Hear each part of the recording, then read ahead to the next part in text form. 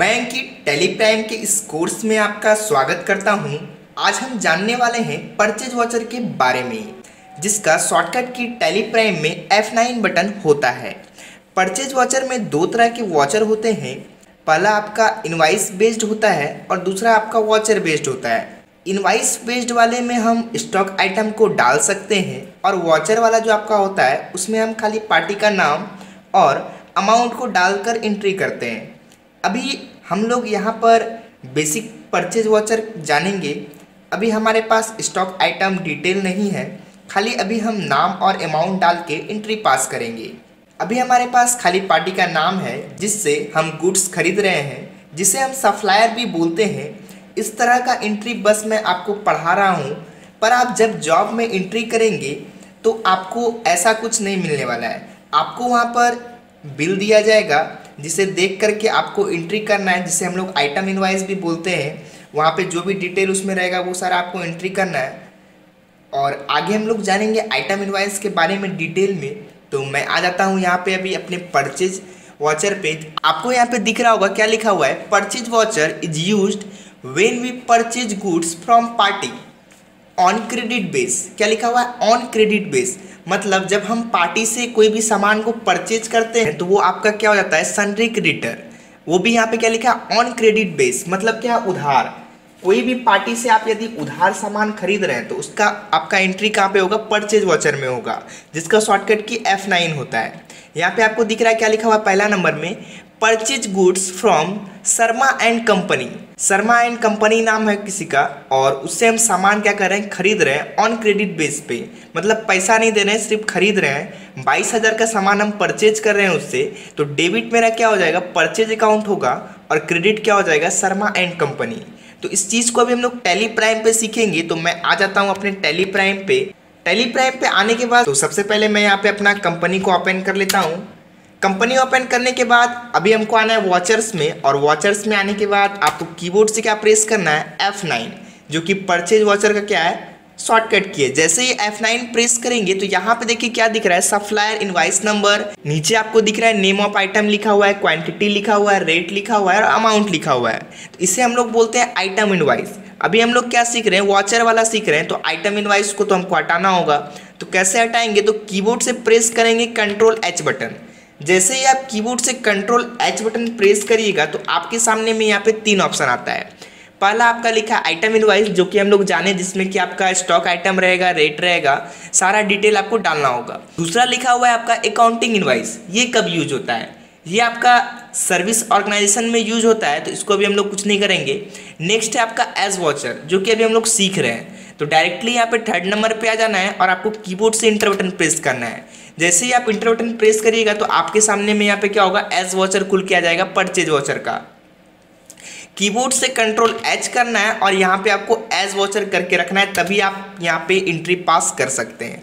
उसके बाद सबसे पहले आपको यहाँ पे क्या दिख रहा है? सप्लायर इनवाइस नंबर मतलब आप जिससे सामान खरीद रहे हैं, उसका कोई एक इनवाइस नंबर होगा तो आपको यहाँ पे डालना है। तो अभी हम लोग यहाँ पे डाल देते हैं S W zero zero one ठीक है? उसके बाद इंटर करेंगे। यहाँ पे आप डेट डाल सकते हैं तो यहाँ पे अभी हम लोग डाल देते हैं। तो डेट कहाँ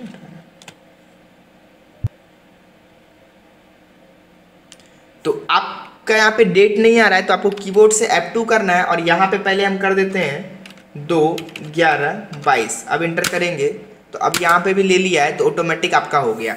प्रॉब्लम क्या आ रहा था कि मेरा जो टैली में था, वो यहाँ पे आपका तीस अक्टूबर दिख रहा था और डेट हम डाल रहे थे दो नवंबर, इसीलिए नहीं ले रहा था। तो पहले हम वहाँ पे एफ़ टू बटन प्रेस करके यहाँ पे सही कर लिए, जहाँ पे कि अभी तीन ग्यारह दो हज़ार बाईस दिख रहा है। आप इसको कंप्यूटर के हिसाब से कर सकते हैं। तो यहाँ पर आपका पहले से हो गया यहाँ पर तो अभी हम डेट डाल चुके हैं, आप भी डेट डाल दीजिए। उसके बाद डेट डालने के बाद आपको इंटर बटन प्रेस करना है तो यहाँ पे अभी हम लोग कर लेते हैं। इंटर बटन प्रेस करने के बाद आपका यहाँ क्या दिखता है? क्रेडिट तो क्रेडिट में आपको क्या डालना था? शर्मा एंड कंपनी डालना था।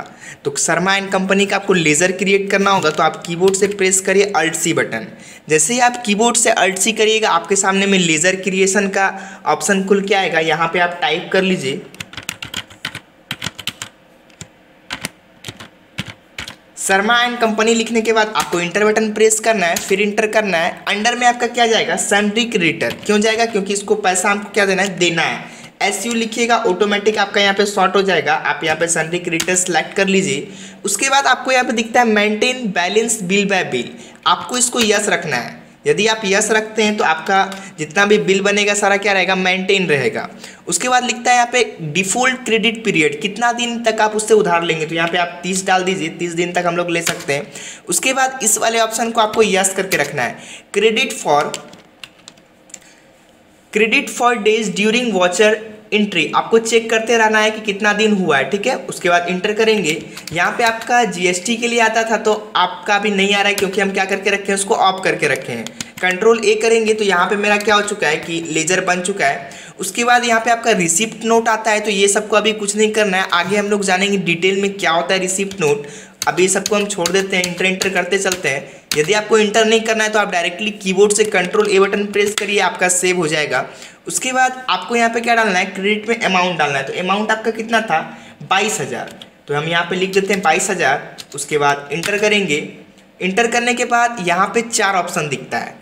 पहला दिखता है आपका एडवांस दूसरा दिखता है अगेंस्ट रेफरेंस और तीसरा दिखता है न्यू रेफरेंस और चौथा क्या है? ऑन अकाउंट तो ये होता क्या है?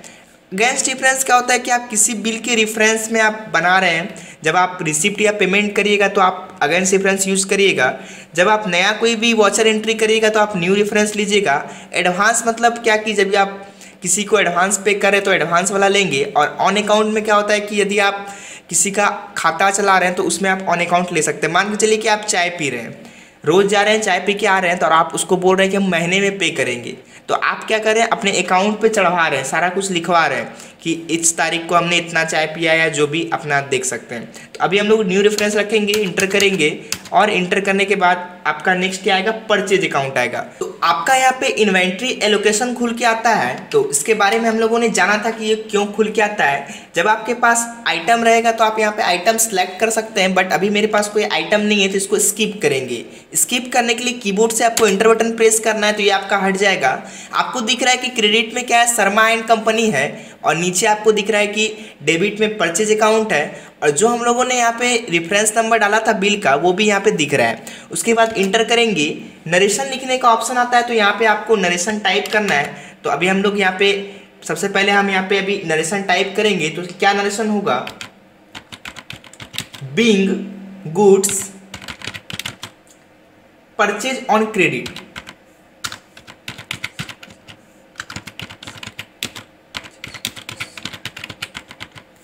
यहाँ पे आपको दिख रहा है कि मैं यहाँ पे लिख चुका हूँ being goods purchase on credit purchase on credit का मतलब क्या है कि उधार हमने यहाँ पे सामान को खरीद लिया है। उसके बाद इंटर करेंगे तो ये एंट्री मेरा क्या हो चुका है? एक्सेप्ट हो चुका है। अब दूसरा करना है तो दूसरा करने के लिए पहले हम देख लेते हैं क्या एंट्री है। तो दूसरा आपको यहाँ पे दिख रहा है क्या लिखा है? Bought goods worth rupees thirty two thousand one hundred from Sanjeev on credit मतलब हम सामान खरीद रहे हैं, कितना का खरीद रहे हैं? बत्तीस हज़ार एक सौ का। किससे खरीद रहे हैं? संजीव से। वो भी क्या ऑन क्रेडिट बेस पे मतलब उधार।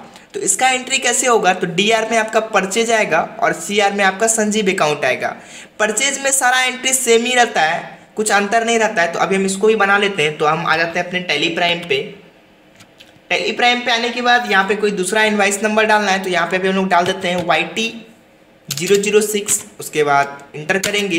डेट यहाँ पे ऑटोमेटिक आ गया, कुछ नहीं करना है, फिर इंटर करना है। क्रेडिट में आपको यहाँ पे क्या था?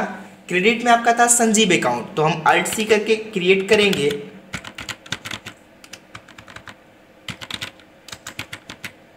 संजीव अकाउंट उसके बाद इंटर करेंगे। ये भी आपका सनरी क्रेडिटर होगा। उसके बाद maintain balance bill by bill को यस रखना है। डिफ़ॉल्ट क्रेडिट पीरियड हम लोग डाल देते हैं थर्टी डेज़ का। इंटर करेंगे check for credit days during voucher entry इसको भी आपको यस करके रखना है। उसके बाद बाकी आपको डिटेल डालना है तो आप डाल सकते हैं। तो अभी आप समझ लीजिए कि हम डाल दिए। आपको डालना है तो आप डालिए। कंट्रोल ए करेंगे तो यहाँ पे मेरा क्रिएट हो जाएगा। उसके बाद इधर कहीं कुछ नहीं करना है, फिर से कंट्रोल ए करना है। और जब पार्टी डिटेल आएगा तो फिर कंट्रोल ए करना है। तो सारा आपका हटते चल जाएगा। उसके बाद इसका अमाउंट कितना था? बत्तीस हज़ार एक सौ। तो यहाँ पे हम लोग लिख देते हैं बत्तीस हज़ार एक सौ। उसके बाद इंटर करेंगे। यहाँ पे आपका न्यू रेफरेंस रहेगा। उसके बाद आपको डी आर में क्या डालना है? परचेज अकाउंट डालना है। तो यहाँ पे परचेज अकाउंट अभी हम लोग डाल लेते हैं। यदि आपका इन्वेंट्री एलोकेशन खुल रहा है तो आपको इसको स्किप करना है इंटर से। फिर इंटर करेंगे। यहाँ पे आपका नरेशन लिखने का ऑप्शन आता है तो अभी हम लोग क्या करेंगे? पीछे वाला ही नरेशन को इसमें पेस्ट करेंगे। तो यदि आप रिसेंट में कोई नरेशन लिखे हैं और चाहते हैं आपको कि फिर से वही लिखना है तो आपको टाइप करने का कोई ज़रूरत नहीं है। आपको कीबोर्ड से प्रेस करना है। कंट्रोल के साथ आर बटन तो क्या हुआ कि रिसेंट वाला आपका यहाँ पे नरेशन ऑटोमेटिक लिखा जाएगा। आपको शॉर्टकट की याद रखना है कंट्रोल के साथ आर उसके बाद इंटर बटन प्रेस करेंगे, फिर से इंटर करेंगे तो यहाँ पे मेरा क्या हो चुका है कि अभी दो परचेज वॉचर यहाँ पे मेरा बन चुका है। तो आपको समझ में आया कि कैसे हम लोग परचेज वॉचर पे काम करेंगे? तो आप इन दोनों वॉचर का प्रैक्टिस करिए अपने टेली प्राइम पे। तो थैंक यू